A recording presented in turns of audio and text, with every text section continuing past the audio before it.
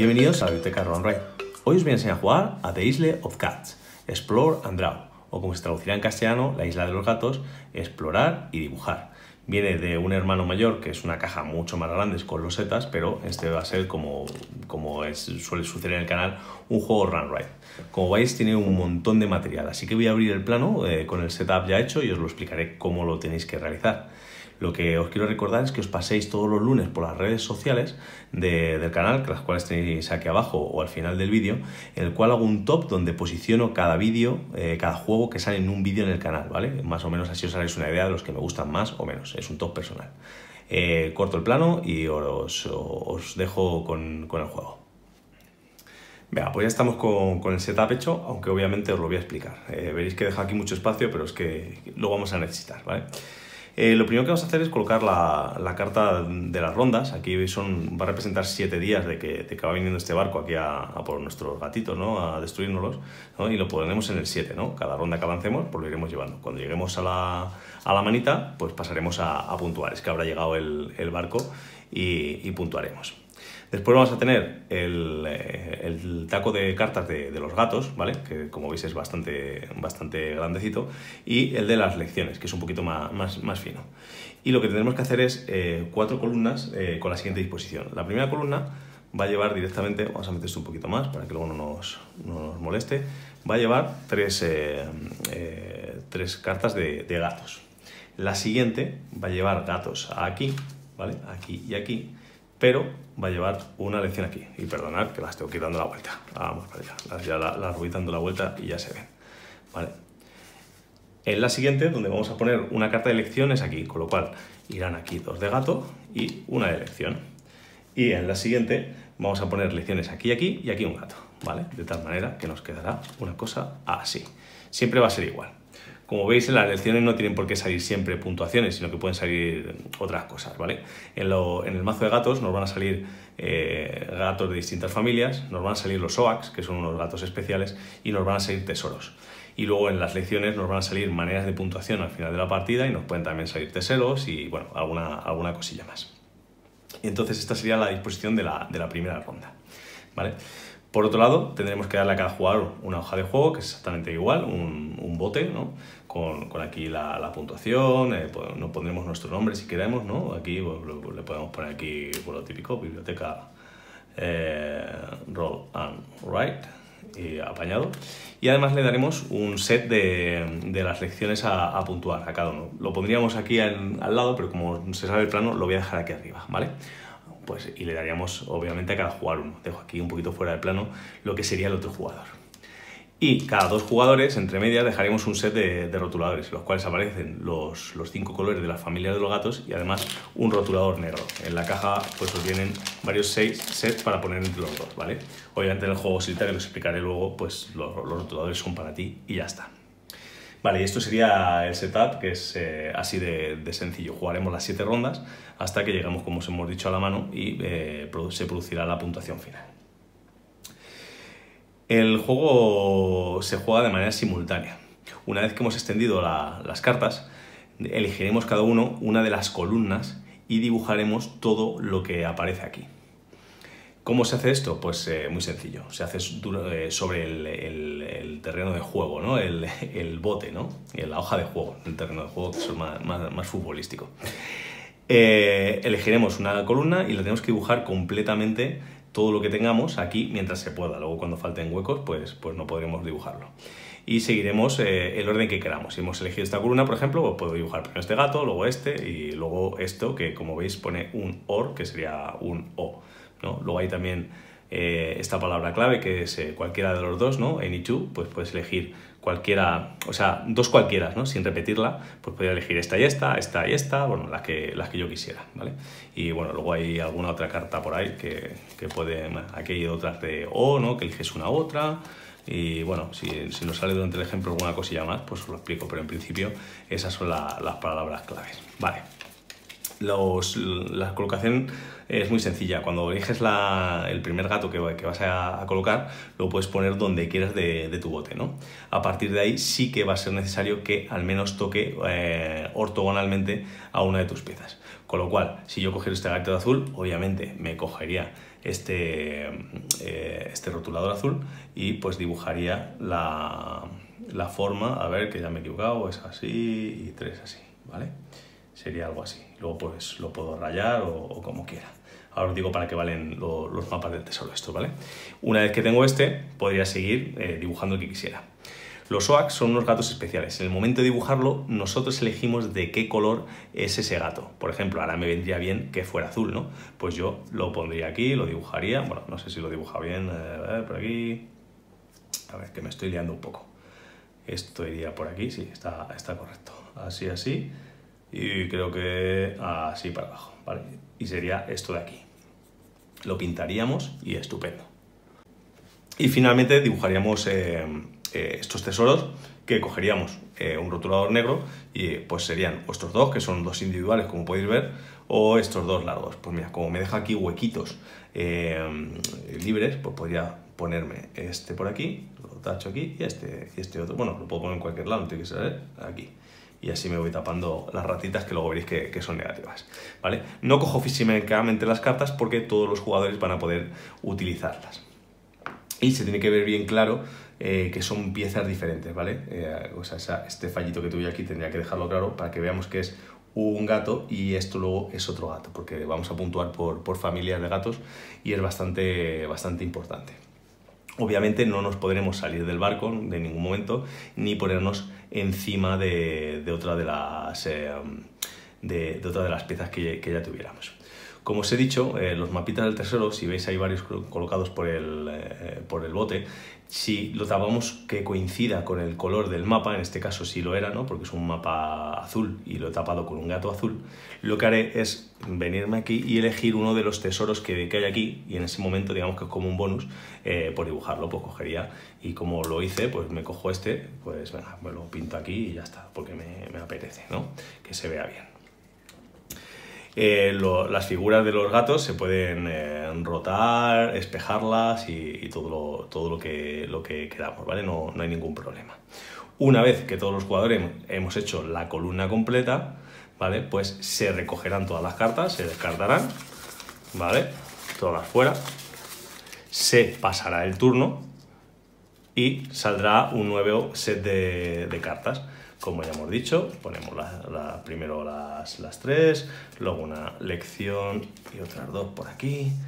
Ahora es gato, lección y este, y luego dos lecciones por aquí y finalmente un gato. Y de nuevo eh, volveremos a, dibujar lo que nos convenga de una de las columnas. ¿Qué pasa con las cartas de elección cuando las elegimos? Como veis vienen numeradas y te, dan una mm, forma de puntuarlas al final de la partida. Entonces yo dibujaría, si cogiera esta columna por ejemplo, ¿no? dibujaría normalmente, elegiría uno de los tesoros, elegiría este gato, lo pintaría donde, donde pudiera, quisiera o, me conviniera y finalmente cogería como veis es el 3, y me marcaría en, la, en el set este de elecciones el 3. A final de la partida, pues los que haya ido cogiendo me los puntuaré, ¿no? Pues en este caso un punto por cada elección que haya elegido. Pues si yo tuviera esta, esta y esta elegida al final de la partida, pues al llegar al puntuar a esta, que es la de un punto por cada elección, pues pondría una, dos, tres y cuatro. Pues ya tengo ahí cuatro puntitos, eh, aparte de los que me fueran dando estas siguientes lecciones, como ahora veremos. Aparte, en cada una de las rondas al elegir la columna, podremos eh, elegir uno de estos efectos especiales. Solo vamos a poder elegir uno por ronda y en total durante la partida tres. Recuerda que tenemos siete eh, rondas, pues, eh, pues en tres ocasiones vamos a poder hacer. Es una manera de saltarnos las reglas. ¿no? Elegir una carta adicional de otra columna, elegir una carta de, una de las, de las filas, eh, bueno, y todas un, poco, un poquito así, ¿no? Es, es, muy, muy sencillo de, de, leerlo. Por ejemplo, dibujar el, el, siguiente, un gato que ya le he dibujado, o sea, según yo he dibujado este gato, por ejemplo, que era uno morado aquí, que me, que me ha interesado, ¿no? Le, le he dibujado, eh, hacemos así, así, ¿vale? Ta, ta, ta, ta, ta, ta, ta, Pues si elijo, oye, que voy a, voy a utilizar en esta ronda esta, pues nada, pues podría dibujar de nuevo espejándolo como me, conviniera, pues podría hacer así y también dibujar el mismo gato que dibuja en la última.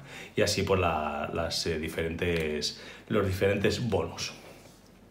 Y así lo haremos hasta que lleguemos al final de la, de la partida. Cuando esto haya llegado aquí, ya se hayan descartado todas las cartas, etcétera, pues pasaremos a contar puntos. ¿Qué nos va a contar los puntos? Vamos a hacer un ejemplo, por ejemplo, que, hubiera yo antes dibujado otro, por otra cosita por aquí y venga, vamos a un morado por aquí, vamos a hacerle aquí, tal, tal, tal, tal, tal, y venga, para el ejemplo, aunque no, no sería ahora mismo, venga, vamos a hacerlo muy rápido. A lo mejor me tenía que haber un set y así no, no, no os molestaba. Lo hago tal que así, ¿vale? Tal, tal, tal, tal, tal, vale. Vale, pues veníamos eh, lo primero las familias por colores, ¿no? Iríamos color por color. Si, si ponéis aquí, eh, familia azul. Contamos el, número distinto de gatos que hay. En este caso tenemos uno, dos y tres gatos azules. Nos venimos a, esta tabla que tenemos aquí y vemos que por tres gatos junto de la familia es lo mínimo que puntúa. Si tuviéramos dos no nos puntuaría, pues nos da ocho puntos. Nos los ponemos y apañado, ¿vale? Luego, eh, bueno, tendría más obviamente durante la partida, pero cuando llegamos al morado, como veis aquí hay dos familias diferentes, pues la puntuamos de, manera independiente, ¿vale? Y eh, ya digo, si esta tuviera solamente dos, esta no nos puntuaría nada y solo puntuaríamos por esta. Pues en este caso otra vez serían 8 puntos. Esto es exponencial, contra más, obviamente, contra más gatos se puesto juntos, más puntos vamos a tener. Durante la partida lo siguiente que se, puntuará son los tesoros raros. Los tesoros raros son eh, los que suelen ser la pieza más grande, ¿vale? Y tiene un diamantito medio, tal, bueno, que suelen ser más grandes. Estos son sencillos, que como veis es como color cobre, y estos son oro. ¿Cómo los diferenciamos? Pues no lo he hecho aquí bien, pero lo que tendría que haber puesto en los comunes, ¿no? en los sencillos, tendría que haber dibujado aquí una, una C, y en los, en los raros, por ejemplo, que yo hubiera dibujado durante la partida, este de aquí, ¿vale? Pues tenía que poner una R. Entonces, pues simplemente contaría las R's que tengo aquí con tesoros y serían tres puntos por cada uno. En principio, los comunes no nos puntúan salvo que tengamos alguna, alguna lección en, la que no lo haga. En este momento lo que puntuaremos son las lecciones, por lo que hemos dicho, las que teníamos eh, marcadas, iremos viendo que cumplimos por aquí y las puntuaremos. Después tendremos que ver las ratitas que nos hemos dejado sin, sin tapar cada rata que nos hemos mojado sin tapar nos va a dar puntos negativos. En este caso, bueno, como no llena mucho, pues sería una, una burrada. Y finalmente tendremos que ver las habitaciones completas que no hemos, que no hemos rellenado. Esto, bueno, si lo voy a coger, mira, le doy la vuelta y así lo veis. Las habitaciones eh, se ven de manera muy sencilla, pero bueno, hay que, hay que estar atentos. Obviamente esta que no viene marcada con nada, todo esto que, viene en otro color, es una sola habitación. En el momento en que quede un solo cuadrito eh, sin, sin tapar, esa habitación está vacía y nos quitaría 5 puntos. Aquí tenéis otra habitación, otra habitación, otra habitación, otra habitación, otra habitación y esta pequeñita también es una habitación. Aparte em, de, que se diferencian por color, veréis el simbolito. ¿Vale? Hay un simbolito, aquí hay una, como una espiga de, trigo, aquí es un lorito, aquí también es un loro, aquí son unas medias lunas y aquí pues realmente no sé lo que es, pero es otro símbolo. Entonces en el momento que se vea algo, nos quitará 5 puntos al final de la partida. Eh, gana, obviamente, el que más puntos se consiga a final de la partida y en caso de empate, el que más habitaciones llenas eh, tuviera. Si no, pues se comparte la, se comparte la, victoria. Y esto ha sido la explicación del juego multijugador. Ahora os voy a pasar a explicar el modo solitario que, no tiene mucha complicación y es bastante interesante. Bueno, pues vamos con el modo solitario. Como podéis ver, el setup es igual, lo único que jugaremos solo. Eh, aquí no se ve del todo, pero tengo la la, hoja de puntuación de, las lecciones, ¿vale? Y todos lo mismo, haríamos el mismo, la misma cuadrícula, bueno, cuadrícula o, rectantícula, no sé cómo se dice exactamente, bueno, el 4x3, ¿vale? Y ahora lo que entrará es eh, estos tacos de cartas, ¿vale? El primero eh, son cinco cartas con los colores de los gatos. A esto le daremos un menito, ¿vale? Y lo dejaremos eh, visible, haremos una línea, ¿vale? Con, las cinco cartas. Miren las cinco familias de cartas de, de gatos posibles. Y la primera la daremos la vuelta, ¿vale? Ahí lo tenemos. Luego en siguientes rondas iremos volteando las demás. Después cogeremos las cartas de misión que pone eh, lecciones eh, de solitario y pondremos tres de ellas. Bueno, le pegamos a un meneo y sacamos tres, ¿vale? El, el resto de las lecciones, eh, que bueno, hay diferentes, pues irán a, irán a la caja. Y después eh, hay aquí una, depende de la dificultad que le quieras dar al juego, tienes las, las, misiones avanzadas, ¿vale? Depende de la dificultad, si quieres que sea un juego medio, pues pondrás una carta más, si quieres que sea un juego mmm, difícil, otra más, a mayores, mucho más difícil, otra más, e incluso si quieres ya una dificultad extrema, pues, pues sacas otra, ¿vale? Ahora, por ejemplo, me dejo con la, con la de las lecciones normales, ¿vale? Y ahora iremos jugando de, de la, misma, eh, de la misma manera eh, que hemos jugado, eh, eligiendo la, una de las, de las columnas y dibujándola sobre nuestro, nuestro, nuestro mapita, ¿no? Cuando avancemos la primera, porque hemos elegido esto, podemos hacer el setup de, de, sacar nuevas cartas, quitar estas y sacar nuevas cartas, lo que haremos es girar una de, de las cartas del automa este, que en este caso no lo he dicho, pero se llama que es nuestra hermana, que vamos a apuntar contra ella. Esto nos va a dar una visión de lo que va, a puntuar más el, el, el automa. En el siguiente turno igual, haríamos lo mismo, irían saliendo, y esto lo vamos a hacer solo cuatro veces, ¿no? Entonces, eh, luego nos quedan unos turnos sin que volteemos eh, estas cartas, ¿vale? A la hora de, puntuar, lo que te recomiendan es, tú vas a puntuar normal, cuentas tus cosas, las lecciones que hayas ido apuntando, tus, tus, familias, etc. Y lo que te recomiendan es que cojas otro, otro set para puntuar al, eh, al, a, la hermana, ¿no? al, al automa. Lo que vas a, a puntuar es sobre la hoja que tú tengas, lo que te va a hacer es de la primera carta de izquierda a derecha, por cada gato de este color, en este caso el verde, que tú tengas aquí, le va a dar 5 puntos. O sea, su familia, si yo tengo aquí 4 gatos de verdes, pues en este caso, eh, en, en, su set, pues le pondría que tiene 20 puntos.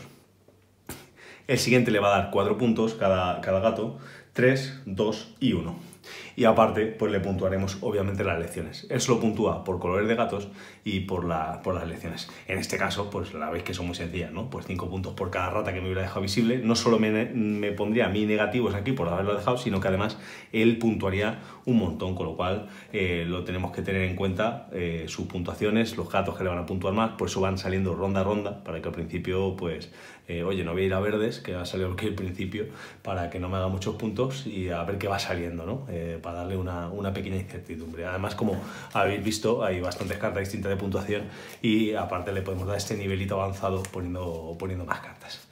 En el siguiente vídeo os voy a jugar una partida eh, así sencillita porque es, es, complicado el juego para que veáis la dinámica del juego.